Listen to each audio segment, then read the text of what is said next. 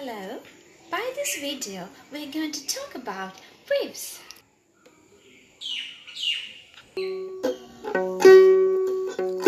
Sound waves. These are occurred by plucking some strings. We vibrate strings here. Another example is the water waves. Water waves can be exerted by disturbing the water surface by a pebble. Then the water ripples are occurred as you see here. Let's see how these waves are occurred. And it's clear the waves are occurred by vibrations. Let's see what are these vibrations. Vibrations are occurred when we disturb a surface. As an example, I'll show you uh, the vibration with the pendulum. This is called the pendulum something suspending with a rope string. So it has a mean position at this position. This is called the mean position. And in a vibration, it moves to one direction and again coming to the middle and going to the other and coming to the middle. So these are the steps of a vibration and this is called an oscillation too. An oscillation. We'll see the oscillation. Here, see, it is moving now.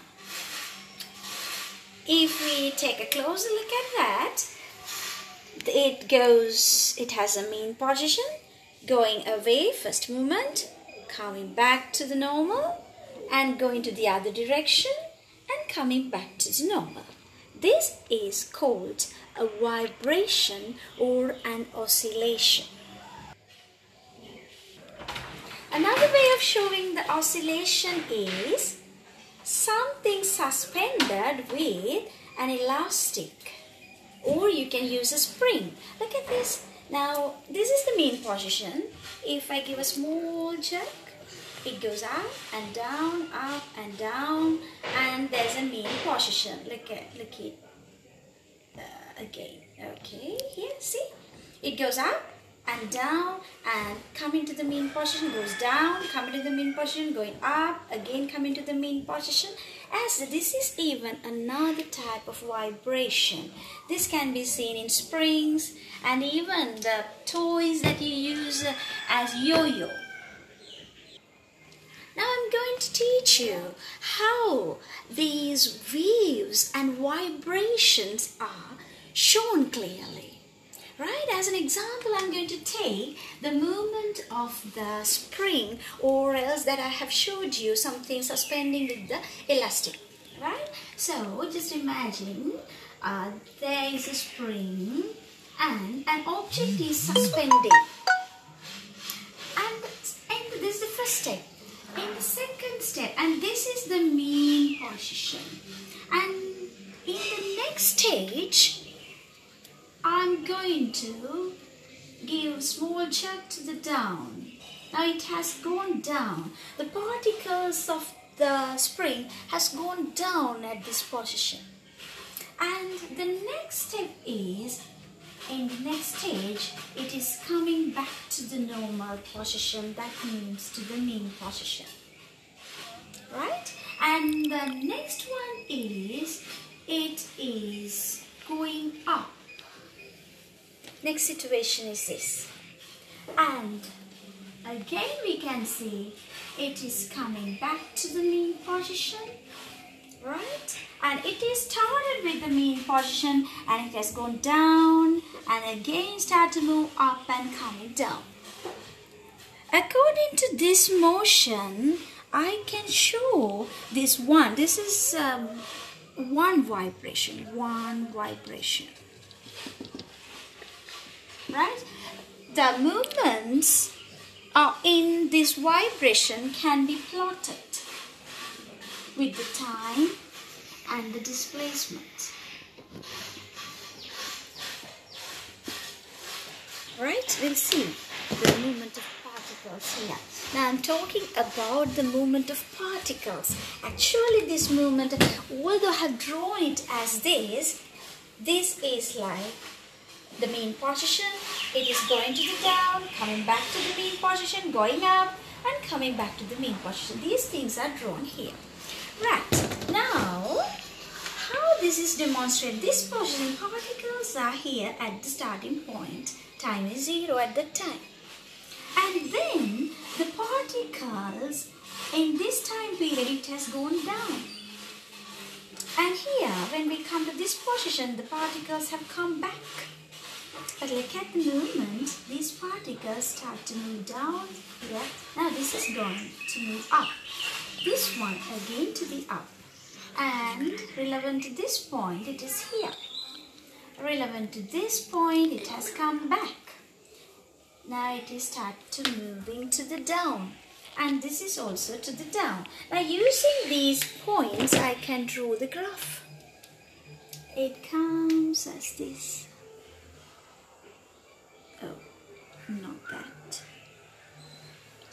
So I can draw a graph using these points. Look here. Now it has the shape of a wave. After plotting this, this is called a wave. This is the wave. Now we will learn what are the characteristic of the wave. Now we have constructed a wave. We'll see what we can identify by this wave. And this wave, we can see a shape. I can draw it. We can I can extend the wave. Right? So it is like this. And this wave we can identify some troughs. These these points are called troughs. And these points are called crests, which are coming up. Which are coming down are called the troughs. And at the same time, now one by one we'll see what are the characteristics. First one, this is the mean position. It is equal to this position, this mean position. And you can see the particles have moved away from the mean position to the either direction. Right? It has come down here and come up, the particles. So when the particles are moving to these two directions, either direction, and we can see the maximum distance, the maximum distance, right? From the mean position, the maximum distance of particles which are moved away from this position. This distance has a name. It is called the amplitude. What is it called? It is the amplitude. So what is called the amplitude then? What is called amplitude? Now you can see amplitude means this distance. That distance mean, it means the maximum displacement from the mean position of the particles to either directions. Right? So amplitude means the maximum displacement away from the mean position to the either directions of the particles. That is the amplitude. Amplitude A means the amplitude. Right. Right, at the same time I'll teach you another fact. So more the amplitude in a wave, more the loudness if it is a sound wave more the amplitude, more the loudness. And smaller the amplitude, quiet the sound. That means lower the and smaller the amplitude means the loudness is low, quiet sound. Right, it is another extra fact. So we have identified what is called the amplitude. Second fact is, we'll see what is called the frequency. There's another characteristic called frequency of a sound wave. Frequency of a sound wave. Right? Now, frequency of a sound wave means uh, before that, wait a minute, before that you have to learn what is called the lambda or the wavelength. Wavelength. right? So wavelength means the distance between two consecutive particles, distance between two consecutive particles of a wave. Now we consider about the particles. Look at here and pay your attention on the direction and the magnitude and the situation, position of the particles. Look here. This part, I'm taking this particle first. That is the initial position, initial particle. And it is now moving. The position is this, moving to the down. Right? And if I take this particle, it moves. Same position in the mean position, this one and this one. This one starts to move down, and but this is moving to the up. Look here, this particle is moving to the up. Therefore, these two particles are not equal. These two are not equal because this one is moving to the down, this is moving to the up. Therefore, these two particles are not considered as consecutive particles. Consecutive means equal from all the characteristics. Right, but they at the by the position it is equal, but the direction it is different. But if we consider this particle, same position, same direction. Therefore, these two are two consecutive particles. These two are two consecutive particles. Two consecutive distance between two consecutive particles is called wavelength. Wavelength. When we consider the wavelength here, now I'll take this point, this particle. What's the consecutive other point to this? Now it is at the trough and also it moves, not it is moving to the down, up, not down, it is moving to the up. Now the next consecutive point for that is this. It is even starting to the up. Therefore, this distance, distance between two consecutive particles and also this is called wavelength. Wavelength. Right? So by this, we can understand this is another trough. Distance between two troughs is called wavelength and also at the same time two crests. This is also considered as the wavelength. So actually, if I ask what is called the wavelength, what's the answer?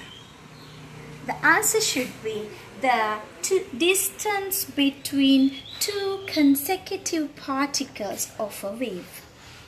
Usually some, usually students uh, tell uh, distance between two crests, two troughs it is, the best answer is distance between two consecutive particles. Because if I take the wave starting from here, you can't identify crests or troughs there. But if this particle, if I consider this particle, the consecutive other particle is this. So this is the wavelength. So we have identified what is called the wavelength right? Now, one wave has one wavelength. So now we know what is called a wave, one wave, the length of a wave. Now, now it is easy to describe the frequency, right, with this length. Now, frequency means, right, frequency means the, the waves occurred within one second. That means amount of waves or waves per second. Amount of waves occurred at one second.